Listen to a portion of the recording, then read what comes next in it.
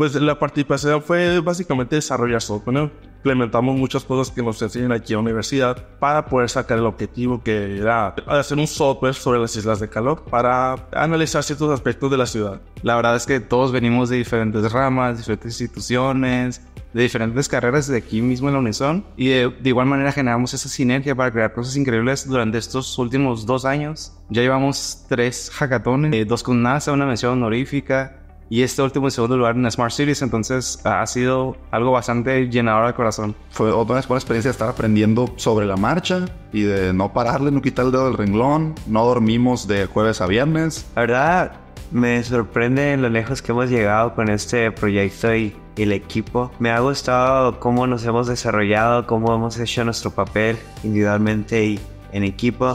Pues es muy, es muy importante destacar la, la, formación que nos dan aquí en la universidad para poder desarrollar este tipo de proyectos. Eh, nosotros eh, estamos tratando de resolver eh, problemáticas usuales mediante cosas que nos hemos aprendido aquí en la Universidad de Sonora. En el proceso, primeramente empezamos solo sin embargo, cuando vieron nuestra capacidad y los límites que, queríamos alcanzar y más allá de ellos, eh, yo diría que ha sido el profe Raquel y el profe, el Raquel Torres.